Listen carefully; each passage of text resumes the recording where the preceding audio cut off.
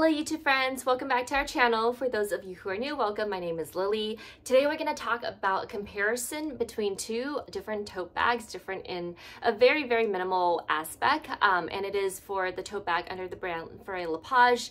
I had a subscriber asking for a comparison review um, between the two different bags, so that's why we're here today. It has been a little while since I posted. I really apologize for that. Um, it's been a little chaotic with work and also with some of the other things that I'm trying to study for, so it's been uh, it's been a little busy for the past couple weeks, but I do hope you're all doing very well. Um, for those of you who are new here, if you like the content, please consider subscribing and also giving a like to this video. Um, so without further ado, let's go ahead and get started started. Okay, so for today's video, we're gonna talk about the Daily Battle Tote by Fauré Le Page, and these are actually the only two designer totes that I have in my collection. I use them primarily for work purposes because it can house my fairly large laptop. So what we're gonna talk about first is this one, and you've probably seen this in my past videos when I did the unboxing um, as well, but this is the brand Fauré Le Page, and as you can see, it has this beautiful sort of dragon scales embossed across the entire bag. I think um, as if it's kind of funny because I was talking with my boss the other day and he was like, oh, is this a Goyard? tote. And I was like, no, no, no, it's actually um, Fauré Le Page. It does have a very similar vibe, I believe, but I actually, while I personally don't have a Goyard tote, I have heard reviewers talk about it and though it is absolutely beautiful, I'm not sure how um, sturdy it is compared to this uh, brand. So if you have either um, or both actually, let me know in the comments below. Would love to hear how you're liking both of them. Um, but yeah, so this is a very, very nice canvas material. I have this in the steel gray. Um, this is what I currently use for my work um, bag. So it's actually quite heavy right now. Um, but this is the, in the size 37. Um, and the one that I will do comparison with for the other one is in size 35. And this is the zip tote. I currently have it stuffed here so it looks nicer and is um, maintaining its shape. Um, but if you look at both of these, notice that, you know, obviously there is a pretty big there's a pretty big size difference um, and the main difference um, is the zipper on the 35 this one does not have a zipper um, so just real quickly, notice that there is this really beautiful bright yellow colorway around the edges of the strap. I had that sort of requested, so you don't need to have it like that. You could have this tote bag just have be one um, color uh, in, in, in this leather, but I wanted to have a nice contrast here. So I put this on. This also does not come with a 30, um, 37 by itself. You have to add it. And I added this little leather tab here so that it could house my initials or not initial, just the first letter of my name really up here. So I really like that. Um, but it's funny because I was actually looking on the website right now for the 37 just to let you know how much it is currently and how much I paid for this. I paid for this um, $1,200 um, and that's excluding some of the um, uh, obviously the taxes and whatnot. But this is 1,200, and I purchased this in July of 2021. When I just checked the website right before making this video, it actually isn't on there anymore. So the 37 size that I have is not on there. What they do have is the size 35 and 41, basically same opening, you know, no zip here.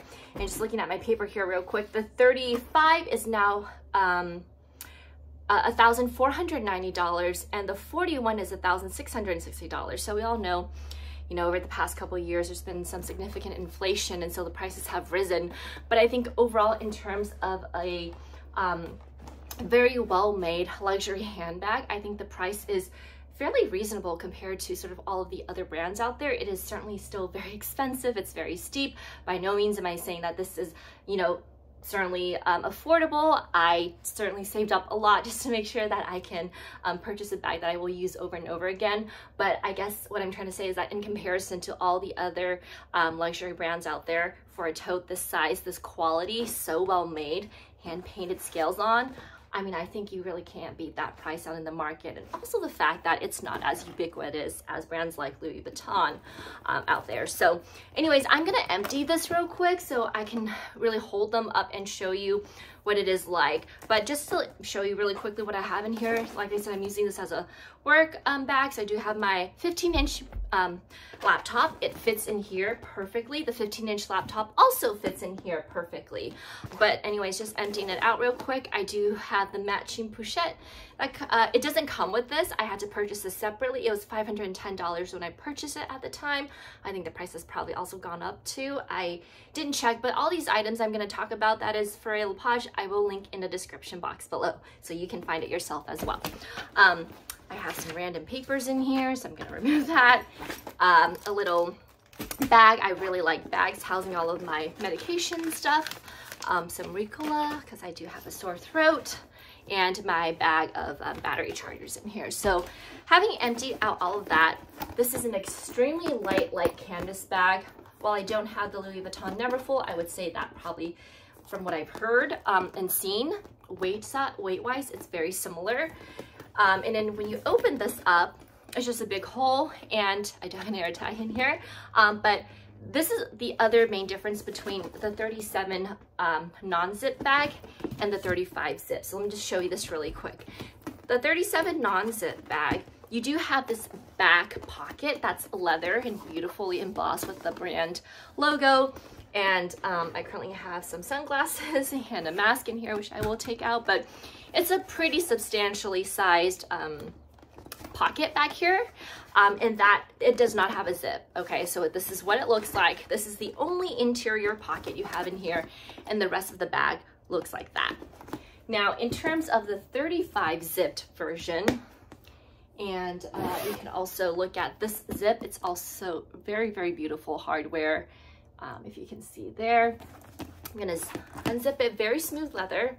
And let me take out my, I do have an organizer. Sorry, I thought I had it stuffed with something else, but it's just an organizer I have in here. So I'm just gonna remove that. And I keep it in here just again to maintain the shape of the bag while I'm not using it. And also extremely, extremely light.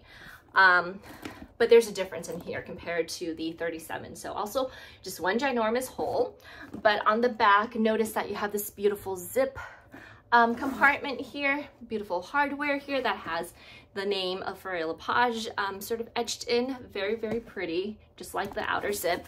And then you have a fairly substantial little back pocket here. So what's nice about this one is that you have a zipped inner compartment, whereas as we saw earlier for the 37, it is simply a back pocket with no zip and it's leather. So a little different there.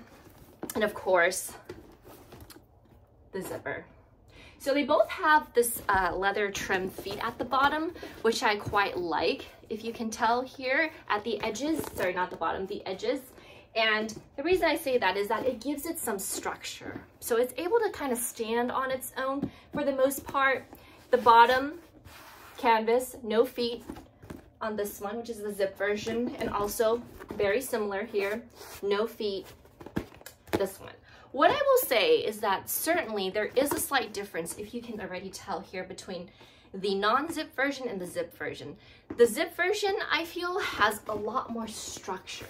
Definitely more structure to it. So if you like your bag a little bit more structured, um, it can hold its shape um, not really hold its shape very well, but for the most part, certainly hold its shape a lot better than this one. This is very slouchy. Now, I don't know if it's also because I've had the base shaper in here, but like just feeling uh, both of these bags right now, this one, the bottom, feels a lot uh, like it can hold its own shape, whereas this one, it's a lot more malleable. So again, if you're okay with a slouchy look, this one would work well for you. If you prefer something that's a little bit more structured, this one might make more sense. Now, the reason I didn't get this one or I wanted to get this one in a larger size, but I couldn't because this was the larger size in the zip version. believe it has two versions or two sizes actually, pardon me, for the zip version. The other one is a smaller size. I got the large size they had at that time for the zip version, and I think that's still the case currently today. But I did get them both in the steel gray color, and I don't know why I did that. I, I think I must have had a brain fart because I could have sworn that I, so I got this, this one first. And then I got this one because I wanted the zip version. And I thought I had gotten this in the navy blue, which is its classic color. But I guess I didn't because here we are with the steel gray color.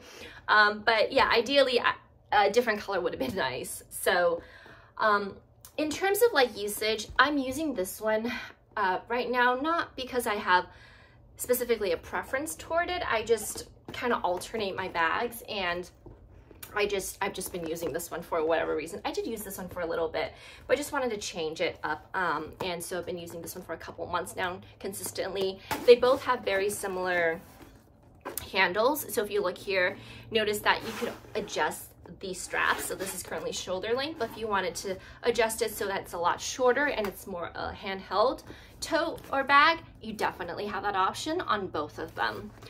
Um, so maybe you're gonna ask me, well, Lily, which one do you like more? I actually like them both a lot, but do I need two of the same color in my collection? Probably not. Um, I, have actually been wondering if I should uh, probably resell one of these and get it in a different color or just resell it just because I, I, don't know. But again, like I said, I only have two tote bags that are, you know, um, really nice tote bags in my collection. So I don't know if I'm gonna uh, resell and get a different one or resell and just not get anyone. No idea right now. I think they're both great. It really just depends on what you're looking for. Do you like a more structured one? Do you like one that's more slouchy? Um, I do like both, but like I said, it's kind of just dependent on your personal preference. I think that the zip one certainly does add uh, more security. So if you wanted to take this for traveling, I think this is a much better option for sure. Um, or in general, you know, just knowing that you have the um, ability to zip it. I know sometimes when I'm driving and I have this on my seat, whether it's the front seat or the back seat, and I like really quickly um, hit the gas, um, or not the gas, but the, uh, the other brake pedal, it can like slide forward. And when it slides forward, if it's not zipped, all my contents just fall on the ground. So that's kind of annoying. Um, but yeah, I think in general, zip versions probably are, you know, more practical for folks. But uh, this one, I can't complain either. I think it's a beautiful bag and I especially like this one because of the trim. Um, I had to, like I said, I had to pay extra for this, but what's really nice is that you can customize your bag with Fauré Le Page, not just with initials, but also with other types of metals um, and things. So I, I, really like that aspect of it. But certainly this one, both of these bags, they can fit a lot. Like I said earlier, this one also fits um, a 15 inch laptop, just to demonstrate for you really quickly.